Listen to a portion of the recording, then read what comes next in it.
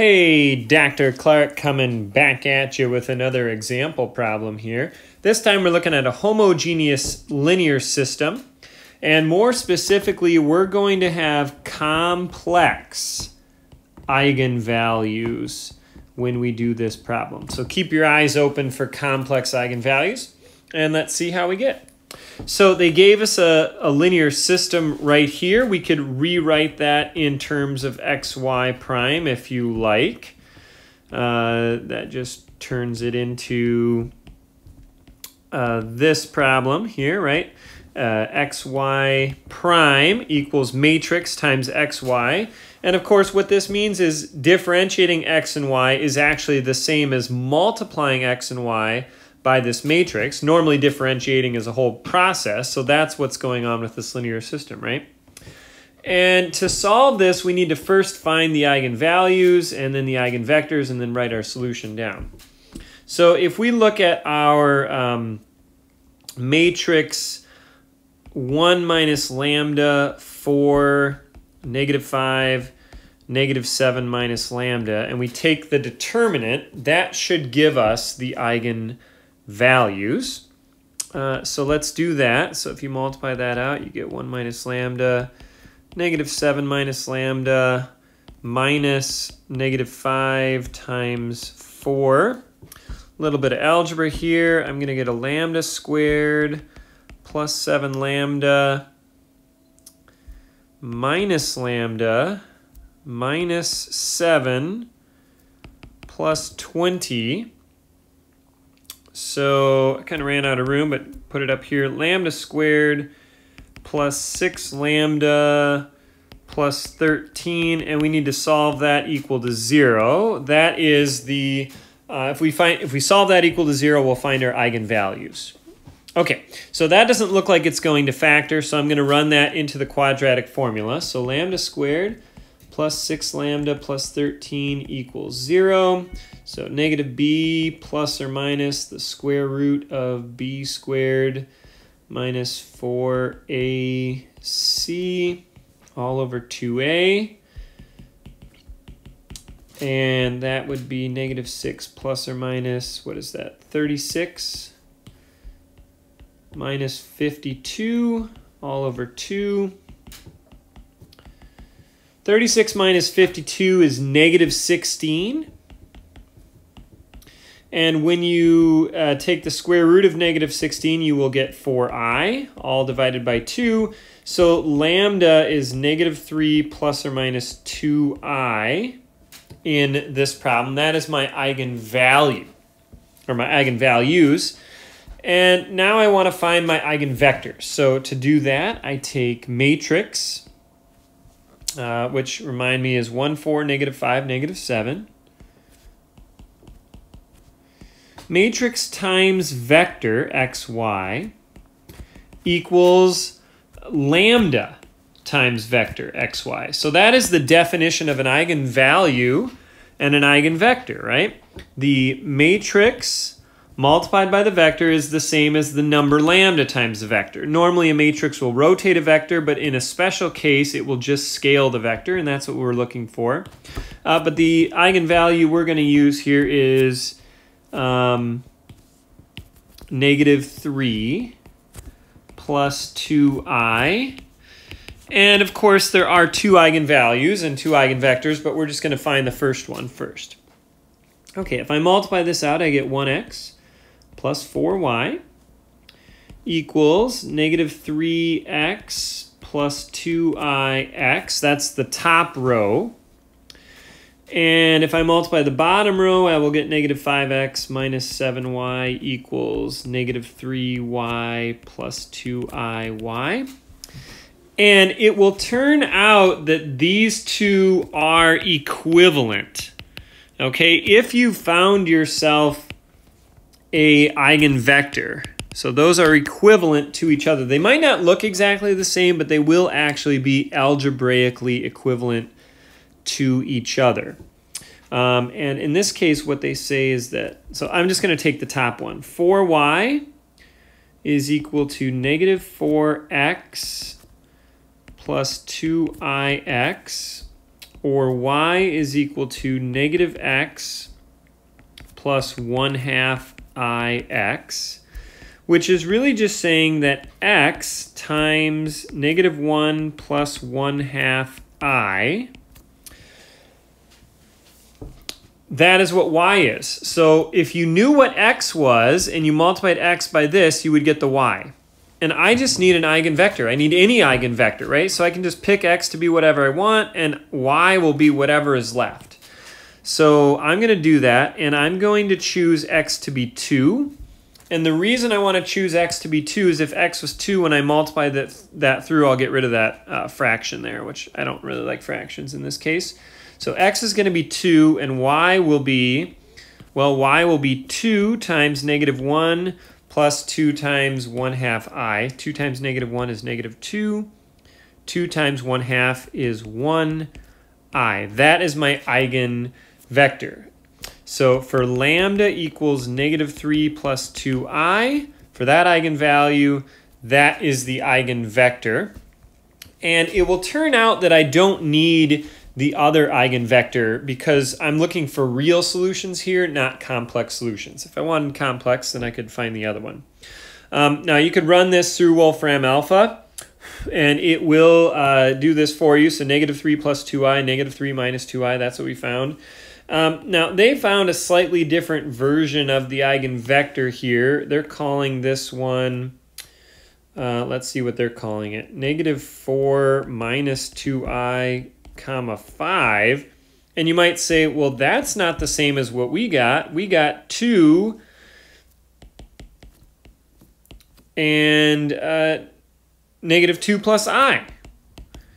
Okay, and those two are probably not equal to each other, but they are probably on the same line as each other. And in fact, um, one way I could I could probably see that is if I just took that bottom one and multiplied it by negative 2 minus i, and then multiplied the negative 2 plus i with negative 2 minus i. So essentially, if I scale this vector, scale it by negative 2 minus i, right? If I just scale the vector, then my numerator will be negative 4 minus 2i, and my not my numerator, but my my x my x value of the vector and the y value, I'm going to get 4, and I'm going to get negative i squared, and I'm going to get minus 2i, and I'm going to get plus 2i. These will cancel. i squared is negative 1, so negative i squared will be 1. And I, in fact, get the same thing. So it turns out these vectors, they're not equal, but uh, this one is equal to this one times negative 2 minus i. So it is just a scaled version of that one. So there's always going to be with complex vectors, you know, some scaling that allows one to look slightly different than the other one or whatever. So let's just stick with what we have here, eigenvalue and eigenvector right here. And let's use that to construct our solution. So how do we use these to construct our solution? Well, we take e to the lambda t times our eigenvector, right? That will, that will equal a solution. And in this case, we're going to have e to the, let me remind myself, negative 3 plus 2i t. And my eigenvector was 2 comma negative 2 plus i. Okay. And if I start multiplying this out, I get e to the minus 3t times e to the 2i t times eigenvector. Oops. And I can use Euler's formula to say that e to the 2it is cosine of 2t plus i sine of 2t times eigenvector. And this will equal e to the minus 3t times a vector. Now I'm going to take this number, which is a complex number, multiply it by 2 and write it down. So on the top, my x vector will be 2 cosine of 2t. plus 2i sine of 2t. Okay, that's fine. And then on the bottom, I need to multiply that number by negative 2 plus i. So let me take cosine times negative 2. That gets me negative 2 cosine of 2t. Okay, so that one is done. And I'm also going to take i sine of 2t times i. Because when I take i times i, I will get negative 1. So I'll be a negative 1 sine of 2t. All right, so that one's done. And then I will take cosine times i, which I haven't done yet. So then I will get i cosine of 2t. And I will take i sine times uh, negative 2. So that will be negative 2i sine of 2t and that will be the end of the vector. Okay, and what you should notice here is we have uh, imaginary parts and we have real parts. Okay, real parts and imaginary parts. So if we separate those out, make a little space here, we'll have the real part will be e to the negative 3t times the vector 2 cosine of 2t, negative 2 cosine of 2t, minus sine of 2t. And the imaginary part will be e to the negative 3t times i times the vector 2 sine of 2t and cosine of 2t minus 2 sine of 2t. Like so. Okay? And what happens here is you get, uh, here's one solution, and here's two solutions. Now this happens to be a complex valued solution, but it turns out that if you take a complex function and split it into its real and imaginary parts, both the real and the imaginary part will be a solution to the uh, linear system. So that means I can write down my general solution as follows. So my yg of t general solution will be c1 e to the negative 3t times my real part, which is 2 cosine of 2t, and then negative 2 cosine, negative sine,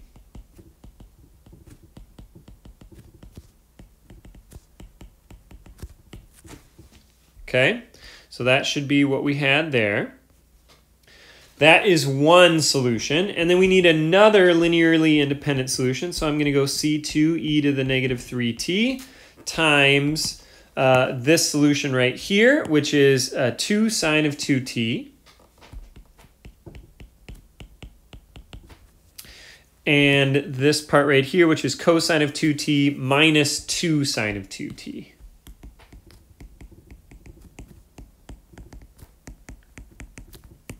Right there.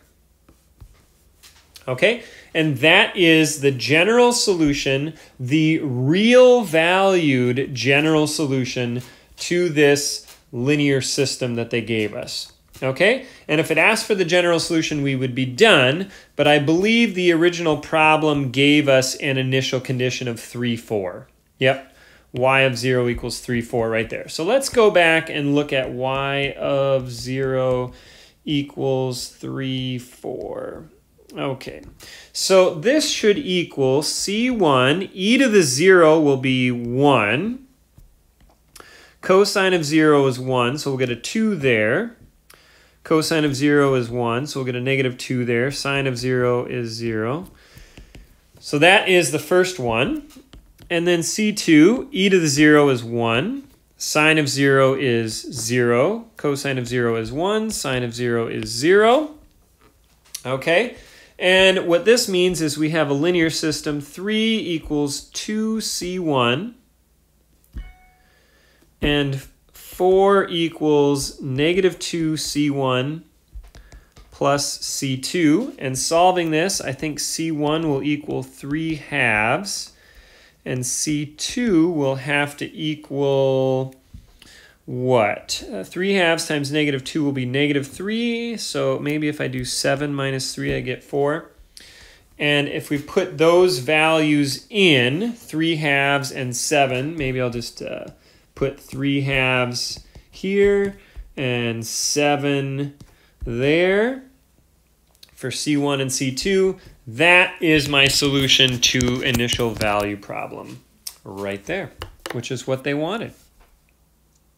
All right, I hope that's helpful. Uh, this is a longer problem because uh, we had complex eigenvalues, so it's a little bit more work to find the eigenvalues, a little bit more work to find the eigenvectors, um, and then a little bit more work to write down the two solutions because you have to multiply out these complex numbers. Um, but the process is, is the exact same as before. That is, it's just e to the lambda t uh, times c1 times the eigenvector, um, and you know it. You get two solutions that way. All right. So I hope that was helpful, and we'll see you next time.